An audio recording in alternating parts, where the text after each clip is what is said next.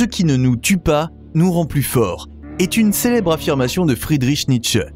Dans ce numéro spécial de Sprouts, réalisé en collaboration avec Stephen Hicks, nous explorons comment Nietzsche partitionne le monde en moutons et en loups, et comment notre moralité, les notions de bien et de mal, est le simple produit de phénomènes biologiques.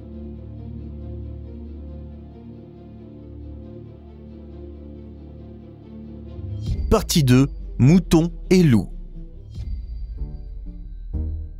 Nietzsche dit Toute nature organique est divisée en deux types d'espèces. Celles qui sont naturellement grégaires et celles qui sont naturellement solitaires. Celles qui sont des proies et celles qui sont des prédateurs. Psychologiquement et physiquement, ce clivage est également enraciné dans l'espèce humaine. Certaines personnes naissent craintives et enclines à se joindre à un troupeau, tandis que d'autres naissent sans peur et enclinent à rechercher les hauteurs solitaires. Certains d'entre nous sont nés sédentaires et indolents, quand d'autres sont nés pleins d'entrain et avides d'aventures. Certains, pour reprendre les termes de Nietzsche, sont nés pour être des maîtres et d'autres pour être des esclaves. Il y a là une réalité biologique indéniable. Nos traits de caractère sont ancrés en nous par l'évolution. De même qu'un mouton ne peut s'empêcher d'être mouton et qu'un faucon ne peut s'empêcher d'être faucon. Chacun d'entre nous hérite de ses parents d'une longue série de traits de caractère innés. Les maîtres vivent selon les principes de la force, de la créativité et de l'indépendance.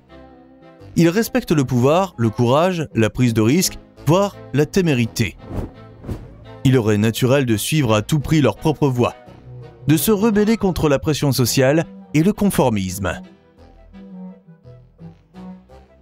En revanche, les esclaves vivent dans la conformité.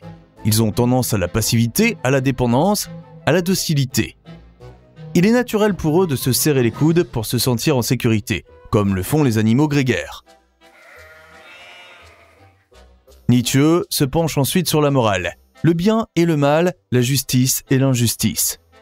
Longtemps, on nous a enseigné que la morale était une question de commandement gravé dans la pierre il y a des milliers d'années. Pas du tout, dit Nietzsche. La morale dépend de notre nature biologique. Et des natures biologiques différentes dictent des codes moraux différents. Pensez-y de la manière suivante. Si vous êtes un mouton, qu'est-ce qui vous semblerait bon en tant que mouton? Paître tranquillement Se serrer les coudes avec d'autres comme vous Faire partie du troupeau et ne pas s'éloigner Qu'est-ce qui vous semblerait mauvais? Les loups Et tout ce qui ressemble à un loup, qui est prédateur ou agressif. Mais si vous êtes un loup, alors la force, la méchanceté et le mépris des moutons vous seront innés et vous sembleront bons.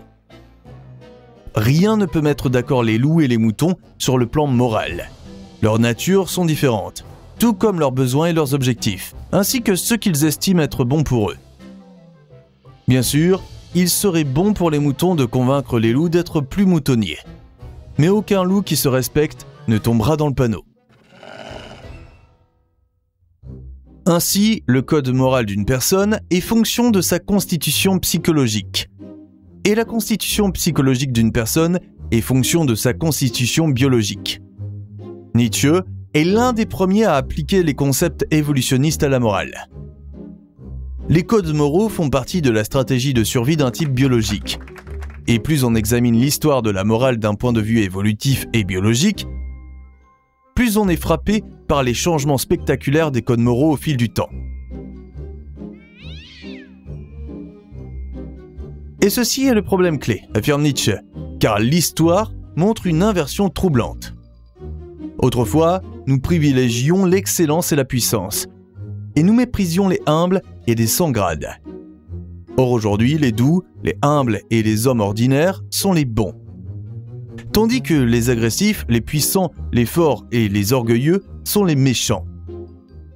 D'une certaine manière, la moralité des faibles est devenue dominante et la moralité des forts a décliné. Cette inversion morale est dangereuse. Les traits de force et de puissance, ceux qui ennoblissent l'homme, sont désormais condamnés. et les traits de banalité et de modestie, ceux qui affaiblissent l'homme, sont loués. La morale est donc devenue une mauvaise chose. Ou, plus paradoxalement, la morale est devenue immorale. La morale des faibles est en quelque sorte devenue dominante, et la morale des forts a décliné. Comment expliquer cette situation paradoxale?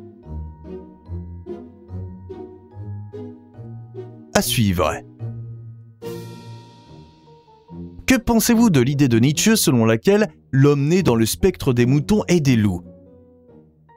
Et partagez-vous son inquiétude quant à l'inversion des valeurs morales? Pour plus d'informations, consultez les descriptions ci-dessous. Vous y trouverez également un lien vers l'article complet de Stephen Hicks sur le philosophe allemand.